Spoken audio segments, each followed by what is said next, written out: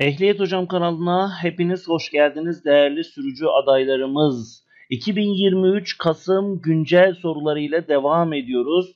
Kanalımıza abone olmayı ve bildirimleri açmayı unutmayın. Yine ehliyet.hocam adresinden Instagram'dan bizleri takip edebilirsiniz. Yine burada Shopier mağazamız üzerinden alışveriş yapabilir. DM üzerinden mesaj yoluyla bizlere sorularınızı iletebilirsiniz. WhatsApp üzerinden kitap siparişi oluşturabilirsiniz diyorum.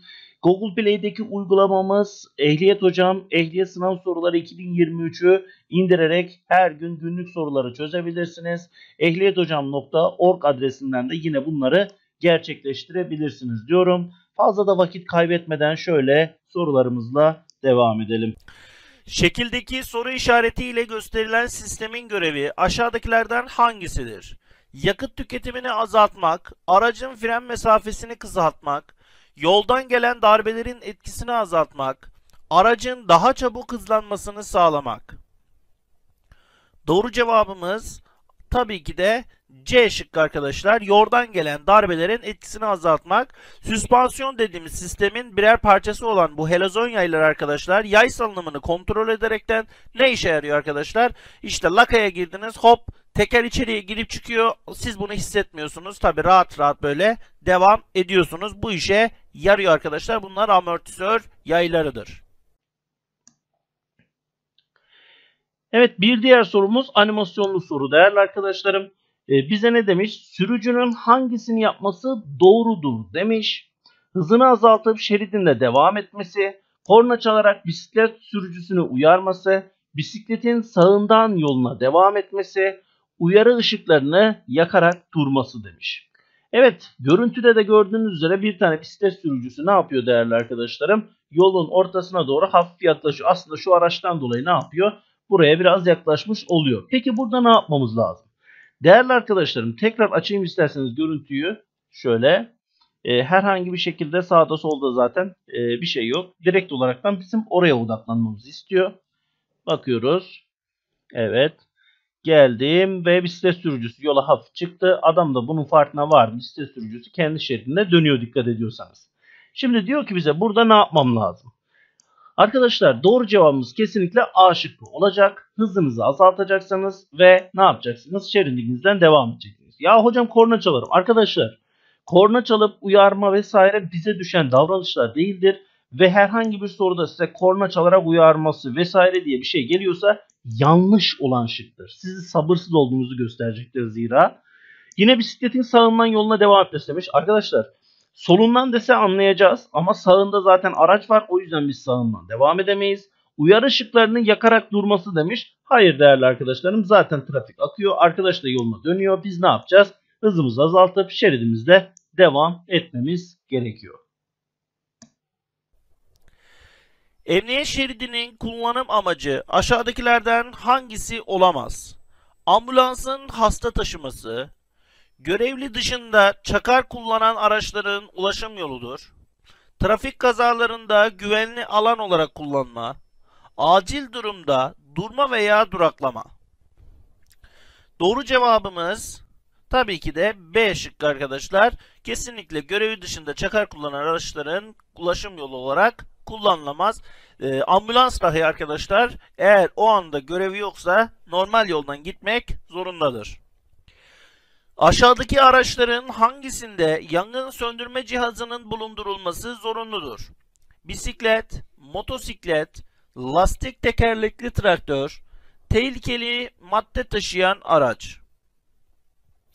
Doğru cevabımız D şıkkıdır arkadaşlar tehlikeli madde taşıyan araç olacak. Ee, bunlar da kesinlikle zorunludur arkadaşlar. Ee, başka nelerde işte otomobillerde zorunludur. Başka işte kamyonetlerde sadece şu üstte görmüş olduğunuz A, B ve C şıklarında bulunanlar da zorunlu değildir arkadaşlar.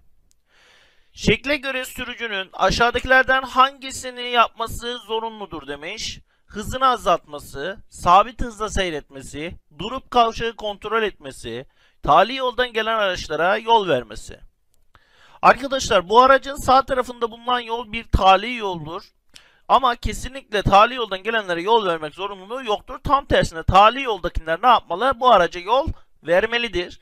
Sabi, e, hızını azaltması gerekiyor arkadaşlar. Çünkü hemen yanında bulunan aracın hemen yanında bulunan tabelada bize ileride bir kavşak olduğunu söylüyor. Biz de kavşaklara her nasıl kavşak olursa olsun hızımızı azaltarak gireriz arkadaşlar. Doğru cevabımız A şıkkı.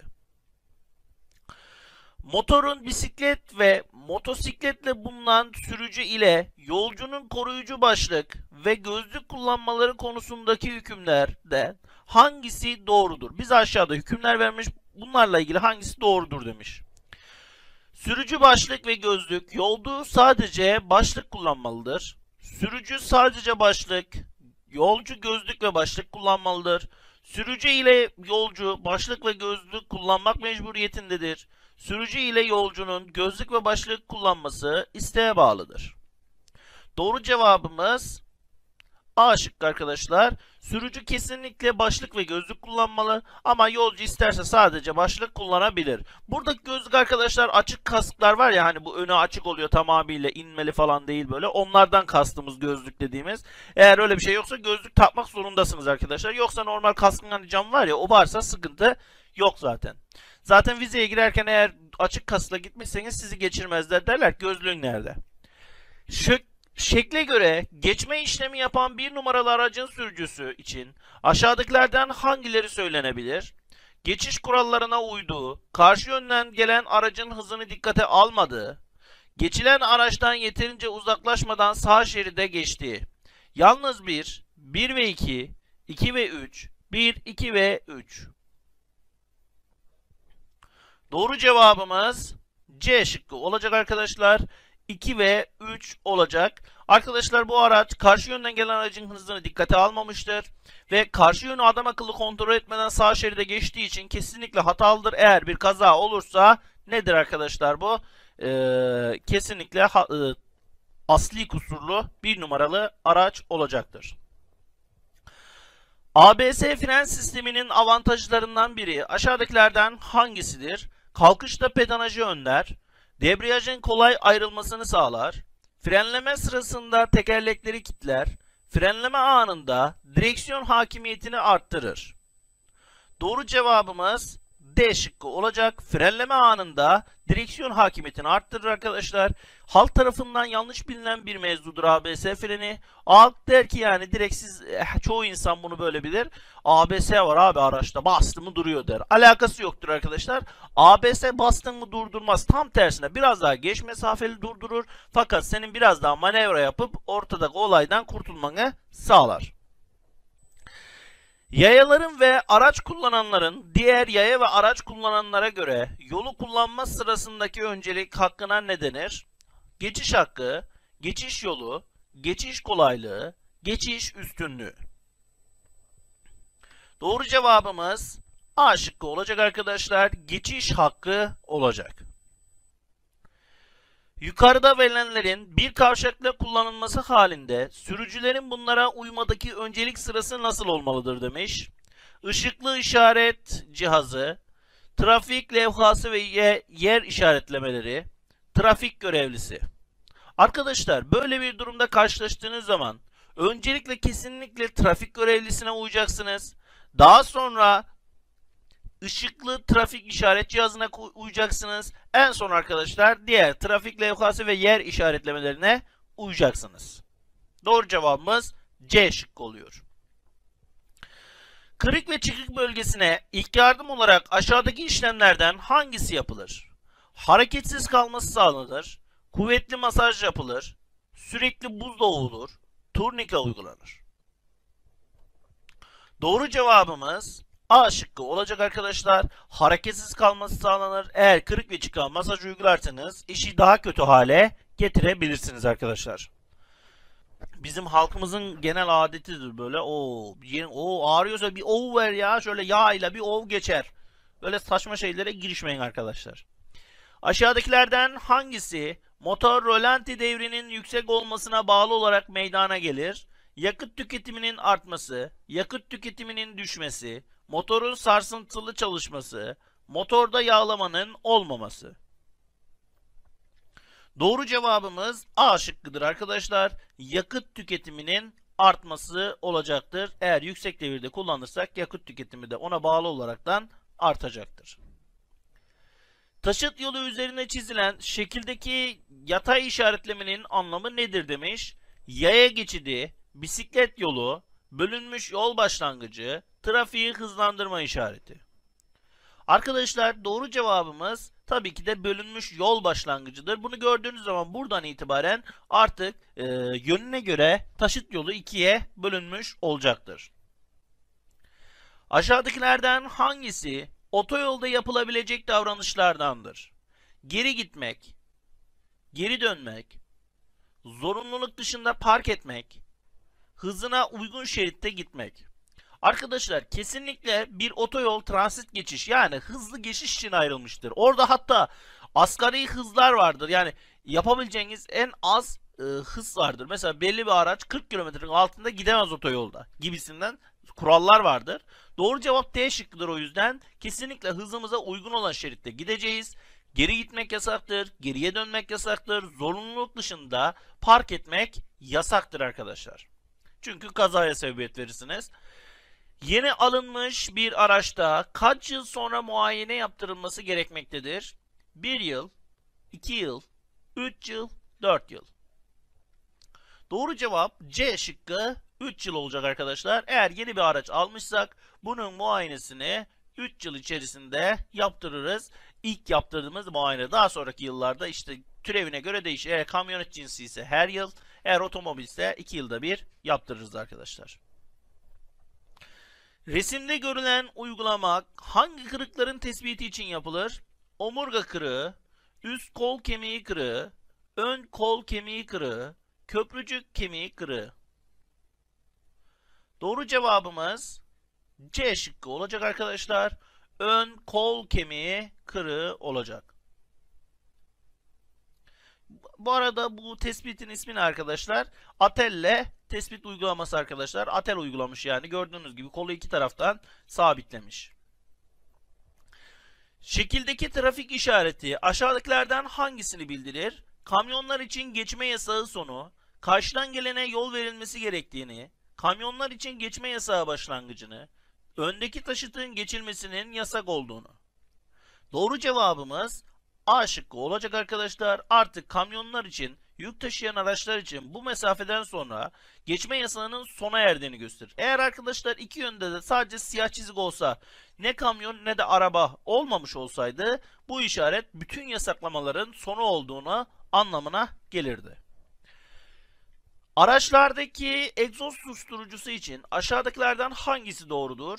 Kış aylarında yakıttan tasarruf sağlar, gürültü kirliliğini azaltmaya yardımcı olur, yaz aylarında kullanılması motora zarar verir, motor hararet yaptığında çıkarılması uygundur. Doğru cevap tabii ki B şıkkı. Bunu bilemeyen arkadaşlar damdan aşağı itiyorlar e, hava alması için. Trafikte yaşanan öfke duygusu verilenlerden hangilerine yol açabilmektedir? Kural ihlallerine, tehlikeli davranışlara, güvenli sürücülük yeteneklerini olumlu yönde etkilemeye demiş. A 1 ve 2, B 1 ve 3, C 2 ve 3, D şıkkı ise 1, 2 ve 3 demiş. Doğru cevabımız tabii ki de A şıkkı olacak arkadaşlar. Kural ihlallerine, tehlikeli davranışlara zaten diğeri bu ikisinin de tam zıttı olan durumlara bahsetmiş. Yani 3 numara tam zıttı zaten. Verilen bilgi ilk yardımın temel uygulamalarından hangisiyle ilgilidir? Olay ya da kaza mümkün olduğu kadar hızlı bir şekilde telefon veya telefon veya diğer kişiler aracılığıyla gerekli yardım kuruluşuna haber verilmelidir. Türkiye'de, Türkiye'de ilk yardım gerektiren her durumda telefon iletişimleri 112 acil telefon numarası üzerinden gerçekleştirilir. Bilgilendirme, kurtarma, koruma ve tedavi etme şıklarda verilmiş. Tabii ki de arkadaşlar bu bildirme ile ilgili. Bunu bilemeyen de candan aşağı itiyorlar. Çünkü çok basit bir soru. Böyle kek sorulara kesinlikle kaçırmayın ehliyet sınavında. Biraz da sakin olun arkadaşlar. Yani bu hayatınızın son sınavı değil yani. Ölüm yok sonunda. Kafanıza da sıkmayacaklar. E lütfen. Kanamalarda kanın açık renkte ve kalp atımları ile uyumlu olduğu, kesik kesik akması durumu hangi tür kanama olduğunu gösterir? Diş eti kanaması, atar damar kanaması, toplar damar kanaması, kılcal damar kanaması. Arkadaşlar doğru cevabımız B şıkkıdır. Atar damar kanaması olduğunu bize bildirir. Eğer kan kapalı renkte ve sızıntı şeklinde bir akış şeklinde akıyor olsaydı biz diyecektik ki bu toplar damar kanaması. Eğer e, kılcal damar kanaması olsaydı nasıl olacaktı? Kabarcıklar şeklinde hafif bir kanama olacaktı ve ölüm tehlikesi bulunmayacaktı arkadaşlar. Şekildeki tehlike uyarı işaretini gören sürücünün aşağıdakilerden hangisini yapması yanlıştır? Hızını azaltması, duraklama yapmaması, hızını arttırması, takip mesafesini arttırması. Doğru cevabımız C şıkkı olacak. Hızını arttırması yanlıştır. Böyle durumlarda takip mesafesini arttıracağız. Çünkü arkadaşlar e, yolun kenarındaki e, bulunan yerden ne yapabilir? Böyle kaya parçaları veyahut da toprak parçaları yola düşebilir, bize zarar verebilir. Bu arada biz oraya ne diyoruz? Şev diyoruz değil mi? Yani yolun e, dış kısmında bulunan yere biz e, işte şeyin o şeridin dışındaki yerden bahsetmiyorum. Kaplamanın da bittiği yerden itibaren ne diyoruz? Şev diyoruz. Aşağıdakilerden hangisi kalp durmasının belirtilerindendir?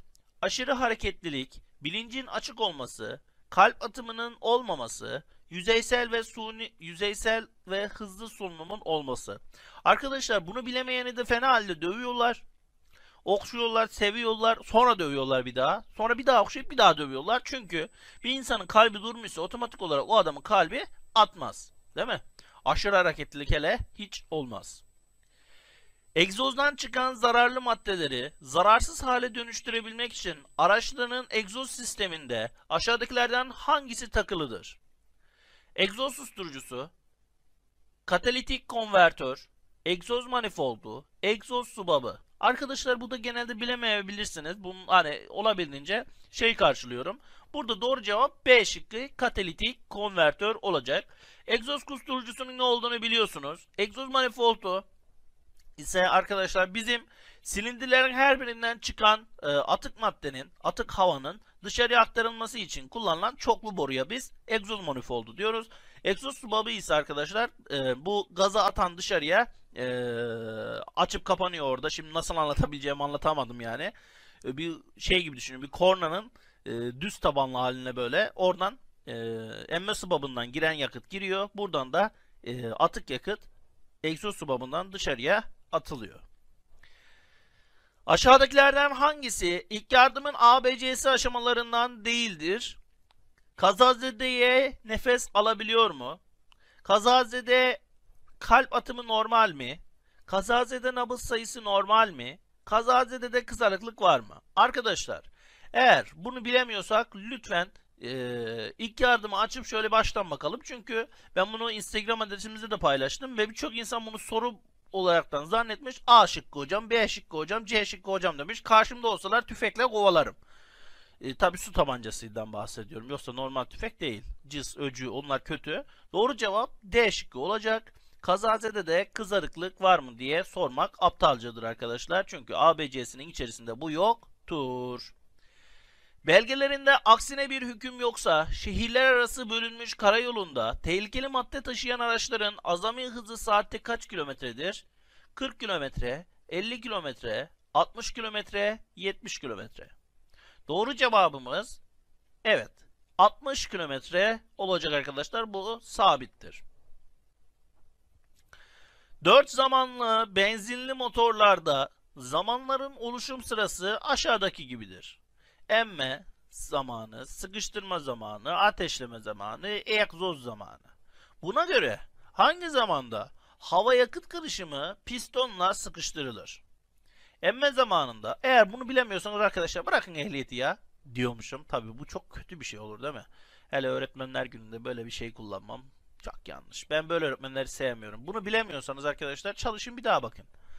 Emme zamanı, ateşleme zamanı, egzoz zamanı, sıkıştırma zamanı şıklarda verilmiş. Doğru cevabımız B şıkkı olacak. Sıkıştırma zamanı arkadaşlar. Bizim editör şıklarla dans etmiş arkadaşlar. Halay çekmiş, horon tepmiş. O yüzden şıkların yerleri değiştirik. Ee, doğru cevap B şıkkı olacak. Şekildeki trafik işareti aşağıdakilerden hangisine yaklaşıldığını bildirir? Demiryolu alt geçidine, demiryolu üst geçidine, demir kontrollü demiryolu geçidine, kontrolsüz demiryolu geçidine. Doğru cevabımız tabii ki de D şıkkı olacak arkadaşlar. Kontrolsüz demiryolu geçidine yaklaşıldığını bize bildirir. D şıkkı olacak dedik. Kontrolsüz demiryolu geçidine yaklaşıldığını bize bildirir. Ne yapacağız? Hemen yavaşlayacağız arkadaşlar. Dikkatli olacağız. Aşağıdakilerden hangisi yolun iki yönde, her iki yönde taşıt trafiğine kapatılmış olduğunu bildirir demiş.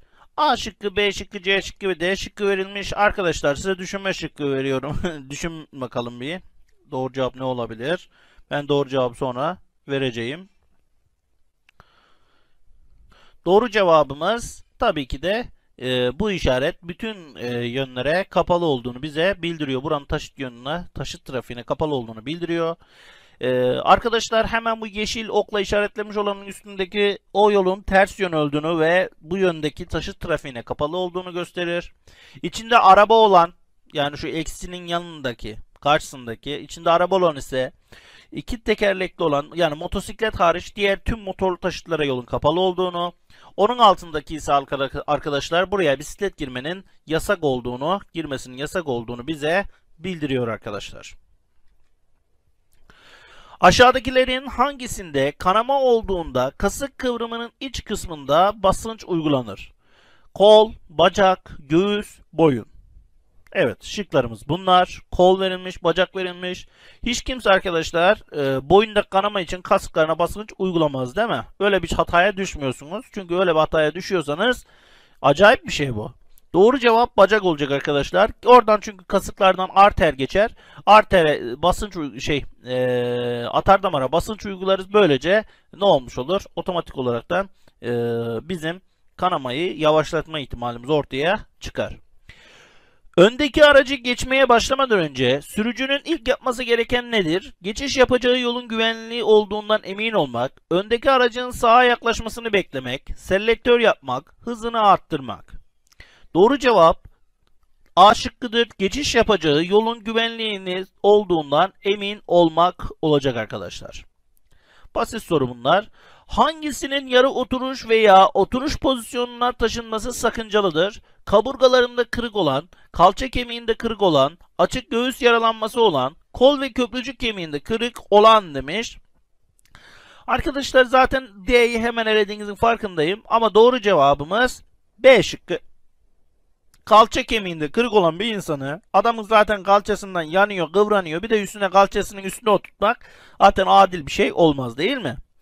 Aracın gösterge panelinde bulunan şekildeki gösterge sürücüye neyi bildirir demiş. Karterdeki yağ miktarını, depodaki yakıt miktarını, soğutma suyu sıcaklığını, radyatördeki su seviyesini. Arkadaşlar bunu birçok insan bilmez ama bu bize harareti yani soğutma suyu sıcaklığını gösterir. Nereden anlıyoruz? Bakın okunucunu görüyorsanız şurada bakın ne var?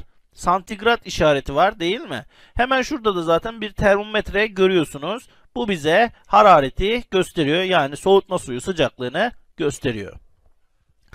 Aşağıdakilerden hangisi trafik kazalarında topluma verdiği zararlardan biri değildir demiş.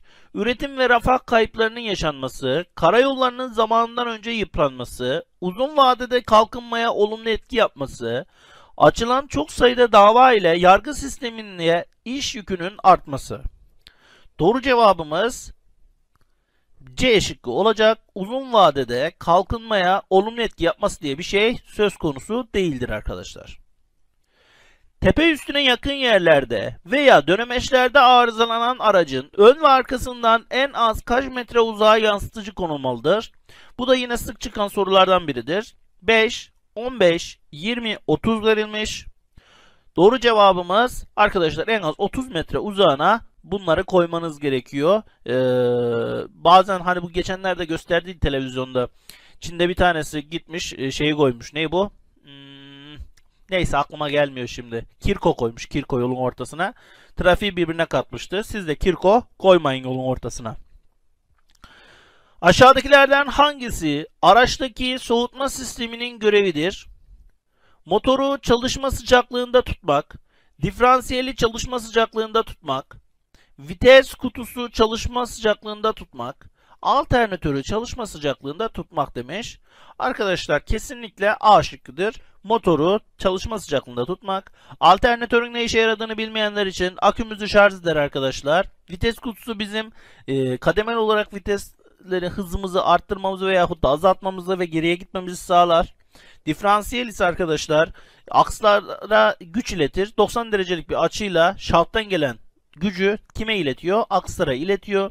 Yine aynı şekilde sağ veyahut da sola dönüşlerde bize kolaylık sağlıyor.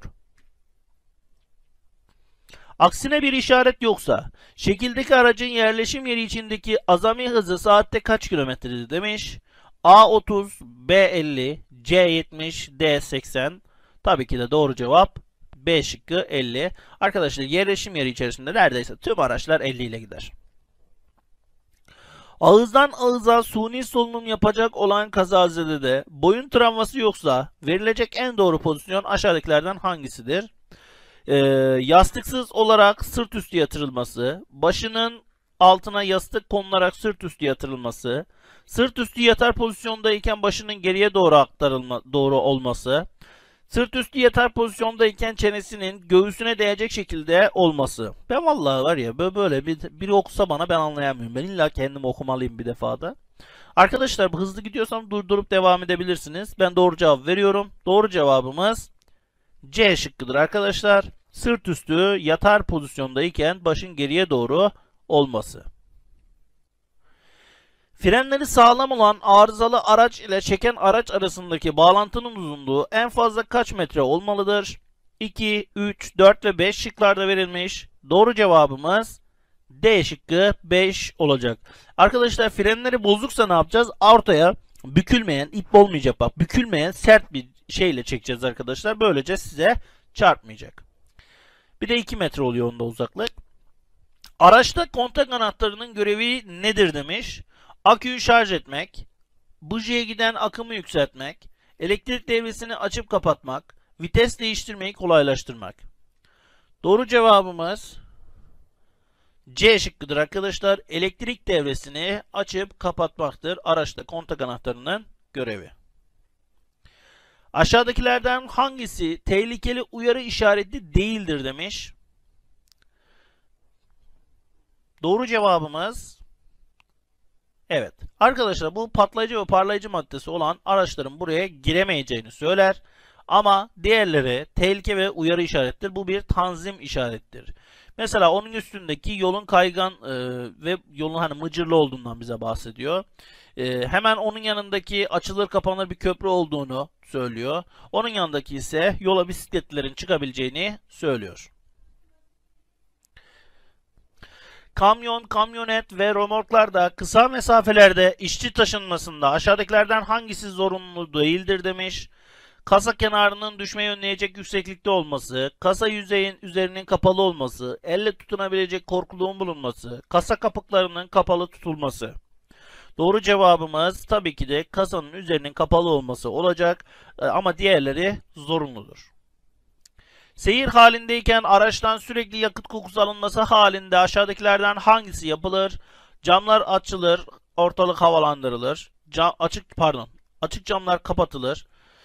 Önemsenmez yola devam edilir. Lastiklerin hava basıncı kontrol edilir. Trafik kurallarına uyarak durulur ve kontak kapatılır demiş. Doğru cevap ne demiş? D şıkkı arkadaşlar. Ee, aman diyeyim devam etmeyin. Bizim arkadaş vardı. Ya diyor abi diyor vallahi yolda sabahtan beri yakıt kokusu çekiyoruz. Benzin kokusu çekiyoruz. Vallahi havalandıra havalandıra geldik arabayı diyor. Dekmelemek lazım böyle yapmanları. Çünkü yanabilir araç. Karayollarında meydana gelen aşağı tra gelen trafik kazaları ile ilgili olarak kazaya karışan ve olay yerinden geçmekte olan sürücünün yasal sorumluluğu nedir? Sadece olaya karışan sürücülere müdahale etme mecburiyeti vardır. Sadece sağlık personeli olanların müdahale etme mecburiyeti vardır. Kendi isteğine bağlı olarak müdahale etmeyebilir. her durumda müdahale etmekle yükümlüdür demiş. E tabi doğru cevap da D şıkkı. Aşağıdakilerden hangisi egzoz gazından zehirlenen kişiye uygulanmaz?